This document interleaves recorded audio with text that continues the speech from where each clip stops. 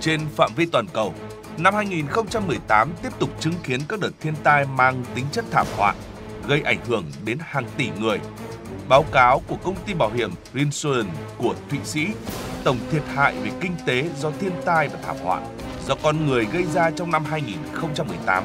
ước tính là 155 tỷ đô la Mỹ.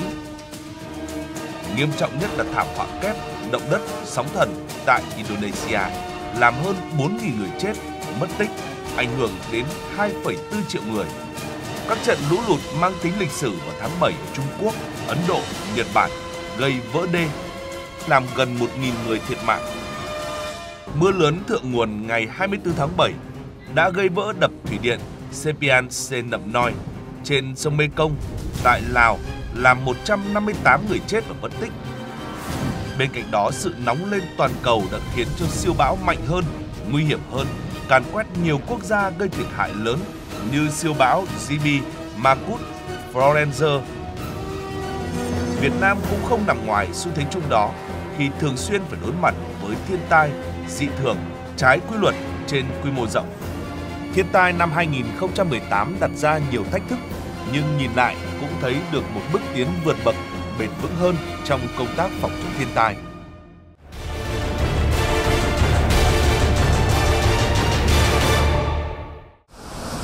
Thiên tai năm 2018 mang nhiều yếu tố cực đoan, dị thường. Đến sớm và kết thúc muộn, xảy ra trên khắp các vùng miền cả nước với 16 trên 21 loại thiên tai. Từ đêm ngày 23 đến ngày 26 tháng 6 năm 2018, mưa lớn xảy ra ở Hà Giang, Lào Cai, Yên Bái và Lai Châu. Đi đến đâu, khu vực nào cũng bị sạt lở. Những vết trượt dài kể cả những nơi trước kia được xác định là an toàn như rừng nguyên sinh hay núi đá thì nay cũng bị sạt lở. Một vụ lở đất kinh hoàng vào dạng sáng ngày 27 tháng 6 khiến một bản sáng tùng trở nên hoang tàn, đổ nát. Nhưng nhờ thông tin chủ động từ sớm nên người dân kịp thời sơ tán đến nơi an toàn. Ở vùng rốn lũ, nguy hiểm bộn bề, giao thông chia cắt, đoàn công tác của chính phủ và ban chỉ đạo trung ương về phòng chống thiên tai đã trực tiếp có mặt để chỉ đạo công tác ứng phó tìm kiếm những người mất tích, chia sẻ về những mất mát mà người dân gặp phải, đồng thời hỗ trợ các gia đình bị thiệt hại. Đợt mưa đến sớm báo hiệu một mùa mưa lũ phức tạp và bất thường ở miền Bắc. Thực tế là nhiều địa phương đã phải trải qua những ngày mưa lũ kinh hoàng nhất trong nhiều năm trở lại đây. Đặc biệt là tình trạng lũ trên các con sông vượt mức lịch sử trong đợt mưa từ ngày 13 tháng 7 đến ngày 21 tháng 7 năm 2018. Nước đã tràn đỉnh đê và địa phương phải huy động nhiều lực lượng chống tràn trên diện tích rộng. Trong năm 2018 đã xảy ra 136 sự cố đê điều và có những sự cố đặc biệt nguy hiểm, gây mất an toàn hệ thống và nếu không có sự chủ động, sớm xử lý ngay từ giờ đầu thì hậu quả thật khó có thể lường hết. Trong công tác ứng phó các đợt thiên tai lớn năm 2018, không thể không nhắc đến lũ đồng bằng sông Cửu Long. Với vùng đất này thì nguồn nước về là rất quan trọng. Tuy nhiên, nếu lũ lớn mà thiếu đi sự kiểm soát thì hậu quả sẽ rất nặng nề. Lũ về sớm, lên rất nhanh và kéo dài. Cùng với đó là sự cố vớt đập thủy điện ở Lào trên dòng chính sông Mekong khiến cho tình hình càng trở nên phức tạp. Dù vậy, nhờ nắm được thông tin sớm, Ban chỉ đạo Trung ương về phòng chống thiên tai đã chỉ đạo việc gia cố đê bao, điều chỉnh lịch mùa vụ, kiểm tra, giám sát thường xuyên nên thiệt hại được giảm ở mức tối đa. Các đoàn công tác của Ban chỉ đạo đã về các địa phương ngay từ đầu mùa lũ và trực tiếp chỉ đạo, hỗ trợ, hướng dẫn cụ thể, thông tin tuyên truyền, đôn đốc các biện pháp bảo vệ an toàn tại các địa phương có lũ và kết quả là lần đầu tiên lũ lên nhanh và lớn nhưng không có một người dân trẻ nhỏ nào bị thiệt mạng. Đây là một thành công lớn của công tác phòng chống thiên tai nếu so sánh với các con số hơn 500 người chết do lũ năm 2000. Và cũng hiếm có quốc gia nào mà khi cơn lũ vừa đi qua thì màu xanh đã trở lại. Sản xuất, môi trường sống lại được khôi phục nhanh như ở Việt Nam. Nhắc đến thiên tai đồng bằng sông Cửu Long, không thể không đề cập đến tình trạng nước biển dâng và sạt lở bờ sông, bờ biển. Hiện đồng bằng sông Cửu Long có đến hơn 562 vị trí bờ sông, bờ biển bị sạt lở,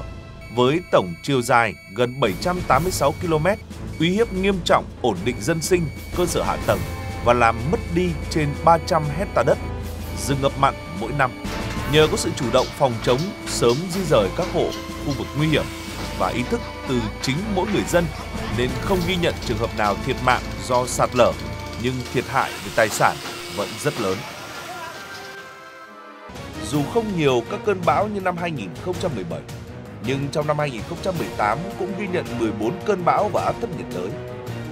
Tính chất hoạt động có những cơn rất đặc biệt, dừng ngay sát bờ, càn quét trong cả một ngày, kèm theo mưa to, gió mạnh rất nguy hiểm, đặc biệt với tàu thuyền ven biển.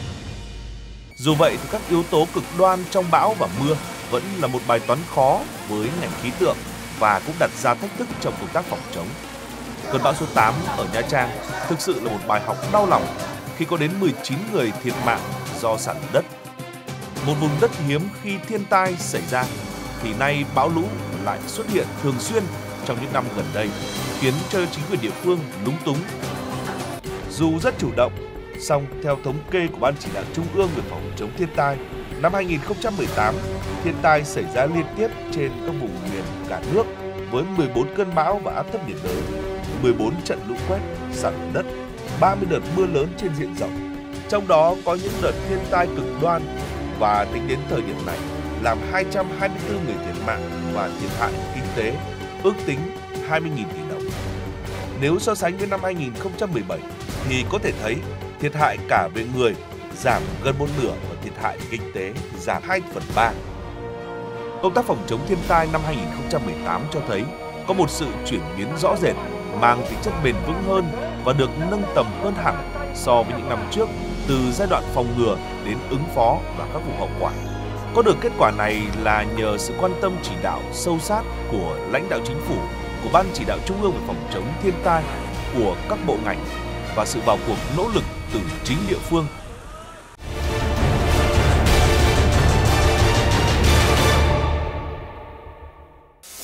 Ngay từ đầu năm, Thủ tướng Chính phủ đã rất quan tâm và trực tiếp chỉ đạo công tác tổng kết, công tác phòng chống thiên tai để ra nhiệm vụ trọng tâm của năm 2018 một cách sát thực, hiệu quả. Thủ tướng đưa ra lời hiệu triệu cho công tác này để cả hệ thống chính trị cùng vào cuộc, chủ động từng giai đoạn phòng ngừa để giảm thiểu tối thiểu thiệt hại. Bên cạnh đó, chính sách pháp luật về phòng chống thiên tai hướng tới quản lý rủi ro thiên tai cũng được xây dựng và hoàn thiện. Luật phòng chống thiên tai và luật đê điều đang tiến hành điều chỉnh Nghị quyết 76 NQCP năm 2018 về công tác phòng chống thiên tai được ban hành. Chiến lược quốc gia về phòng chống thiên tai hiện đang được hoàn thiện để Thủ tướng Chính phủ ban hành Nghị định 160-2018 NDCP quy định chi tiết thi hành một số điều luật trong phòng chống thiên tai được ban hành. Đây là cơ sở pháp lý cho các bộ ngành địa phương triển khai thực hiện và tăng cường hiệu lực điều hành của ban chỉ đạo khi nâng tầm trưởng ban chỉ đạo là Phó Thủ tướng Chính phủ. Thủ tướng Chính phủ cũng đã ban hành quyết định 173 ngày 13 tháng 2 năm 2019 lấy tuần lễ từ ngày 15 đến 22 tháng 5 hàng năm làm tuần lễ quốc gia phòng chống thiên tai. Trong năm 2018, Thủ tướng Chính phủ đã tổ chức nhiều cuộc họp quan trọng với Ban chỉ đạo Trung ương về phòng chống thiên tai, các bộ ngành liên quan để chỉ đạo công tác ứng phó, cấp kinh phí khẩn cấp 2.500 tỷ đồng để hỗ trợ ngay cho các địa phương đối phó với tình trạng sạt lở bờ sông, xói lở bờ biển. Sau thành công của hội nghị toàn quốc về công tác phòng chống thiên tai, Hội nghị phòng chống thiên tai năm 2018 tại ba miền, Hội nghị tập huấn kỹ thuật hộ đê, phòng chống lụt bão cùng các hội thảo khoa học bàn giải pháp ứng phó các loại hình thiên tai đã được tổ chức và góp phần quan trọng đưa ra các giải pháp kỹ thuật cũng như chỉ đạo điều hành trong bối cảnh thiên tai đang ngày càng cực đoan. Bên cạnh đó thì Ban chỉ đạo Trung ương về phòng chống thiên tai luôn chú ý việc áp dụng khoa học công nghệ mới trong phòng chống thiên tai, sử dụng cơ sở dữ liệu số, khai thác hiệu quả các phần mềm hỗ trợ dự báo, tính toán, sử dụng camera theo dõi hệ thống đê điều và các điểm trọng yếu kết nối trực tuyến với các địa phương. Đánh giá hiện trạng đê điều, thường xuyên và xây dựng phương án hộ đê, bảo vệ trọng điểm, ngăn chặn và xử lý vi phạm đê điều. Xây dựng phương án chỉ đạo ứng phó với lũ lớn trên hệ thống sông Hồng, sông Thái Bình. Sử dụng trang thiết bị hiện đại như flying cam, quản lý viễn thám để bám sát được tình hình và triển khai kịp thời các giải pháp khi có sự cố xảy ra. Với công tác thông tin tuyên truyền thì ban chỉ đạo xác định giáo dục phòng chống thiên tai cho học sinh là giải pháp bền vững, lâu dài nên Bộ Nông nghiệp và Phát triển nông thôn ký kết chương trình phối hợp với Bộ Giáo dục và Đào tạo về công tác phòng chống và giảm nhẹ thiên tai trong ngành giáo dục và đào tạo giai đoạn 2018-2023 tổ chức các chương trình trực tiếp trên VTV, VOV, VTC để thông tin lan tỏa nhiều hơn đến nhân dân. Ngoài việc tiếp cận thông tin một cách truyền thống thì Tổng cục Phòng chống thiên tai cũng triển khai những phương thức mới và có hiệu quả như nhắn tin đến các thuê bao, sử dụng mạng xã hội Facebook, thông tin phòng chống thiên tai đến với cộng đồng nhanh hơn, hiệu quả hơn. Ngoài việc tiếp... Ban chỉ đạo cũng luôn chú trọng phát triển hợp tác quốc tế. Việc huy động nguồn lực của các tổ chức quốc tế trong giai đoạn qua cũng đã có những bước tiến vượt bậc, triển khai một số dự án với kinh phí hàng chục triệu đô la Mỹ. Đây là các giải pháp quan trọng khắc phục khó khăn về nguồn tài chính từ ngân sách, trong đó thì phải kể đến dự án hỗ trợ 4.000 căn nhà mới an toàn cho người dân vùng thiên tai, đủ sức chống chịu với tác động biến đổi khí hậu. Năm 2018, công tác khắc phục hậu quả được Thủ tướng Chính phủ đặc biệt quan tâm, chỉ đạo để sớm hỗ trợ đồng bào các tỉnh khắc phục nhanh chóng, kịp thời hậu quả của thiên tai. Trong đó thì đã hỗ trợ 9.461 tỷ đồng từ dự phòng ngân sách trung ương và huy động 36 triệu đô la Mỹ từ nguồn ODA, hỗ trợ 6.705 tấn gạo cứu đói, 1.234 tấn lúa hạt giống các loại Bên cạnh đó thì sự tham gia tích cực hiệu quả của các tổ chức chính trị xã hội, cộng đồng, doanh nghiệp trong khắc phục hậu quả thiên tai. Công tác hỗ trợ tái thiết sau thiên tai cũng đã được ban chỉ đạo đặc biệt quan tâm. Đó không chỉ là những phần quà, phần tiền thiết thực mà còn hỗ trợ cho người dân sinh kế để tái thiết cuộc sống một cách lâu dài, ổn định.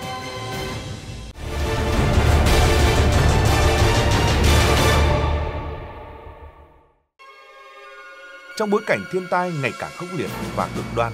sự gia tăng dân số với quy mô gần 100 triệu dân, sự phát triển nhanh về kinh tế xã hội cùng với quá trình đô thị hóa, công nghiệp hóa, sự khai thác quá mức tài nguyên thiên nhiên đã làm gia tăng các rủi ro thiên tai nên nhiệm vụ của ban chỉ đạo rất khó khăn và trách nhiệm cũng rất nặng nề. Vượt qua một năm thiên tai 2018 với những kết quả được ghi nhận càng tôi luyện thêm ý chí quyết tâm của lực lượng phòng chống thiên tai các cấp để nỗ lực hơn nữa bảo vệ cuộc sống của người dân. Trên mặt trận dù không tiếng súng nhưng cũng rất cam go và nguy hiểm, đòi hỏi sự quyết tâm của cả hệ thống chính trị và coi phòng chống thiên tai, lũ lụt như đối phó với giặc theo lời chỉ đạo của Thủ tướng Nguyễn Xuân Phúc. Bằng các giải pháp trước mắt cũng như lâu dài và một kế hoạch hành động ứng phó một cách cụ thể của ban chỉ đạo cùng với sự vào cuộc của cả hệ thống chính trị và sự ý thức trong phòng chống của mỗi người dân được nâng cao thì chắc chắn trong thời gian tới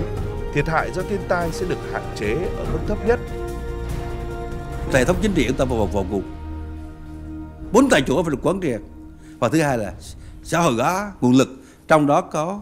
quy động nguồn lực của tư nhân tham gia về công tác phòng chống thiên tai. Tinh thần lớn nhất, quan điểm chỉ đạo bao trùm nhất là xây dựng xã hội an toàn trước thiên tai